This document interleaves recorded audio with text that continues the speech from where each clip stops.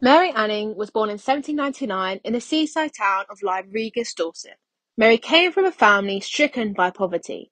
She and her father relied on selling fossils found on the beach to tourists as a second source of income. The tongue twister She Sells Seashells on the Seashore was based off of Little Mary. After her father's tragic death in 1811, Mary continued fossil hunting to aid her family. At the age of 12, Mary and her brother Joseph discovered a 5.2 metre long skeleton the first of its kind. In 1830, another fossil was discovered by Mary Anning, this time a juvenile of a new species, Plesiosaurus. Then, in 1836, another ichthyosaur, preserved so well that its last meal can still be seen inside its ribcage. Charles Darwin and his theory of evolution arose from the foundation of Anning's finding, a breakaway from the heavily religious society of the 1800s.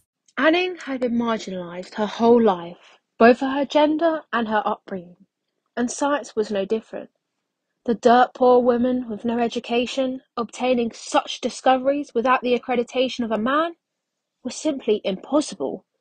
In a society where men sovereign the scientific field, and the one law that forbid entry was a lack of a Y chromosome, Anning didn't stand a chance, and she was rejected from the Geological Society.